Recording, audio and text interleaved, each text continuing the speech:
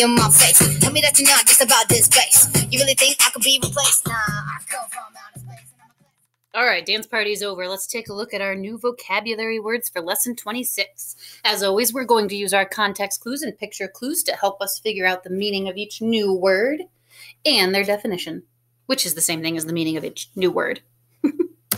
Our first word is ordinary. Let's take a look at our sentence. An ostrich is not an ordinary bird. It runs quickly but cannot fly. Well, an ordinary bird can fly. So, if this is not an ordinary bird, it must be special or different or unique. But an ordinary bird is not special or different in any way. Can you think of words that have the same meaning as ordinary? Simple, plain. Can you think of words that have the opposite meaning of ordinary? Special, important. Let's take a look at our next word. Our next word is control. This rider uses reins to stay in control of the camel. Well, look at your picture clue. I can tell that the reins they're talking about are what that man is holding in his hand.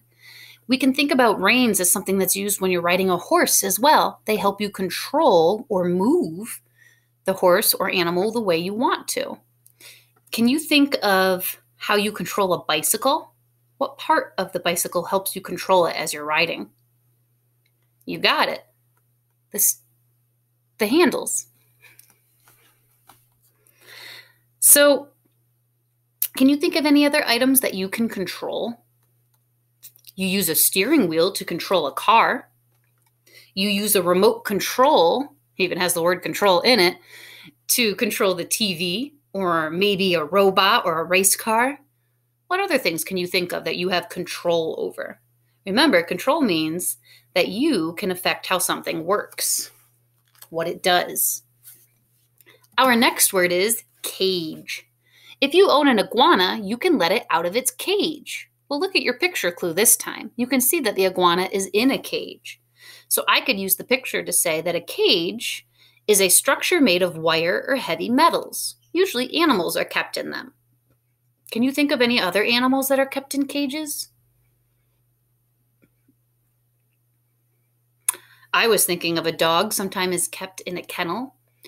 I was thinking a hamster is kept in a cage, a guinea pig is. Maybe your rabbit has a cage. Why might you take a gentle animal or a bigger animal that doesn't normally live in a cage and put it in a cage? Maybe it needs to go to the vet. Can you think of any other animals that I didn't mention that are in a cage? Our next word is upset. Upset is a compound word. It has two smaller words, up and set, that are put together to make the word upset. The sentence says, This animal is upset because it sees danger. Hmm. Well, that tells me if they're upset, it's describing how you might feel when you see danger. I would say a good definition for upset is worried or unhappy about something. Can you think of an example of something that might upset a pet animal? I was thinking the other day we had a thunderstorm and it upset my mom's dog quite a lot. What else might upset an animal? What else might upset a person? Have you ever been upset when you lost something that you really needed? The other day I was upset because I lost my keys. Our next word is sensible. Hmm. I see, I know that there's a base word in here, sense. Let's see if that can help me figure out the meaning. These sensible hippos are smart enough to roll in cool mud on a hot day. Hmm. Well, if it's describing the hippos, they were smart enough. They figured out kind of a way to solve a problem, didn't they? They made a good decision and they used, you ever heard that expression, common sense? Kind of just thinking about something that's kind of obvious that you should know to do, right? So think about this question for a moment. What are some sensible clothes to wear for each different season? Well, think about this last weekend. It was very warm. It was over 70 degrees on Sunday. So it would be sensible to maybe wear a pair of capris and a t shirt. It wouldn't be sensible to wear your winter coat and a hat and gloves if it's 70 degrees outside. So if you are sensible, you make good decisions based on common sense. Our next word is confused. It has that ed ending added to the end of it, which changes it to the past tense. So our base word is confuse. It says Jack was confused. He had never seen an animal like this before. Hmm. If you're confused, you don't understand what's happening or what to do. Can you think of a time that you felt confused?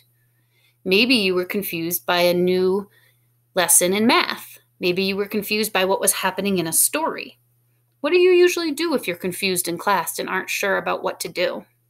You might raise your hand and say, I don't understand what I'm supposed to do, or I don't understand the directions, which is why our definition for confused means you do not understand what is happening or what to do. Our next word is training. Again, we have a base word with an ending. Train is our base word, and then the ing ending is added on to tell me it's happening now. Looking at my picture clue, I don't think this is going to be talking about the noun train, which means like a train on the choo choo tracks. Let's look at our sentence clue and figure it out. The training of a ferret takes time and patience. Hmm, she must be training him or teaching him tricks. So if you're training, you're practicing and learning a new skill. Maybe you're training to be in a race. Maybe you're training to learn something new like karate. Maybe some of you are training for a dance recital. There's a lot of different things you might be training for. Can you think of an example of something you might be training your dog to do? Did you say roll over, sit, or fetch? All right, our last word is suspiciously. Again, we have a base word, suspicious, with the ending or the suffix ly. The wolf looked at the woman suspiciously. It does not trust her. That second sentence is a big context clue that should help us figure out what that word means.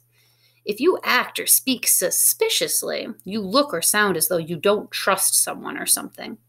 So you can see why in our picture clue that a wolf would not trust or would be looking at someone suspiciously if they came near their home. Can you think of a time someone's looked at you suspiciously?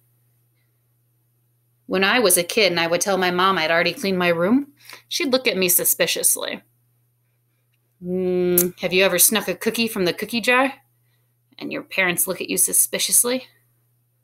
I can think of a lot of times that my mom looked at me suspiciously when I was a kid. so, those are our eight new vocabulary words. Now, what you need to do is on a nice clean sheet of paper, write one sentence for each vocabulary word. Remember, you don't want to rewrite the definition, you want to write it correctly in a sentence. Take your time, be neat, remember those capitals and periods.